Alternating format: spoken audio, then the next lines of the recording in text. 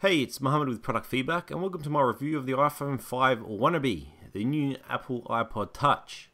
The logic behind this is really apart from the cellular functionality and a slightly better camera, these devices actually provide a very similar user experience.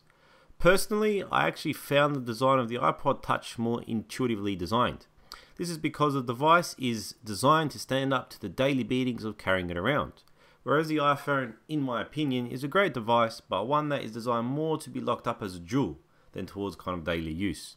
Thought I'd clarify this as many people usually ask what the difference is. So thumbs up for good device, and now onto the iPod Touch.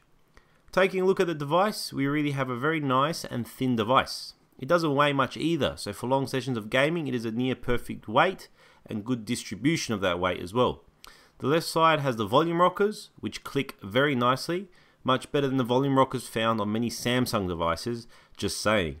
The back comes in a variety of colours. I chose the black because it has a black screen around the front rather than the white like the other colours, but this is just out of personal choice.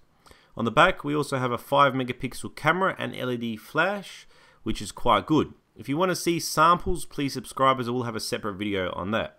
All I can say is that it's good enough for Facebook and is basically the same camera found on the previous iPhone 4S. The front holds a brilliant 4.0 display and looks the same as the one on the current iPhone 5.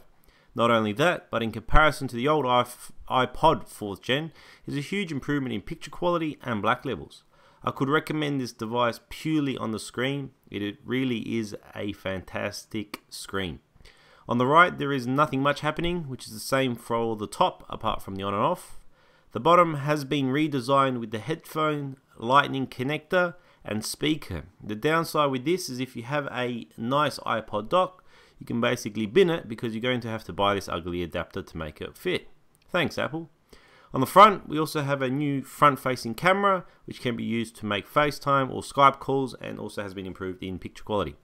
Performance-wise, this device is a significant improvement on the previous iPod Touch, around Geekbench and achieved a score of just over 600. This isn't as good as the iPhone 5, but just to put it into perspective, it performs just as good as the iPhone 4S. Either way, the iOS software which it runs works fine, all apps work well, but don't forget about Siri. Yes, the new iPod Touch does include Siri. This means if you are lonely and you want someone to chat to, now you have someone. Siri, beam me up.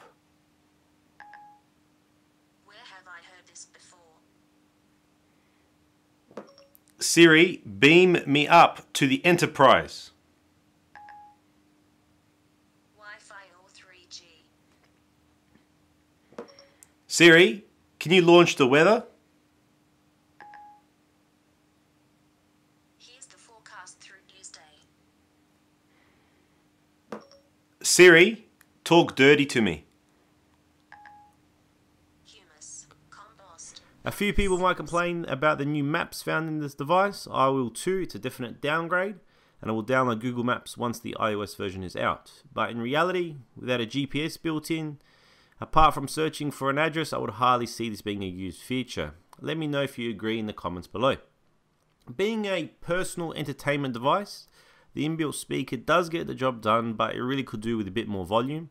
The sound quality from the headphone port also sounds good, the bundled earpods that Apple raves so much about is nothing special. Pick yourself up something better if you do decide to buy one. The new wrist strap adapter is a cool idea for that added safety. Great if you buy this for young children, and I appreciate the thought. Now, going back to my original opening of this review, maybe I did get it wrong. This isn't an iPhone 5 wannabe. This is actually just an iPhone 4S without the cellular functionality in a nicer form factor. And on that bombshell, Please make sure to check out my channel for more videos and subscribe to be updated on the review of the iPod Nano. Muhammad out and peace be with you.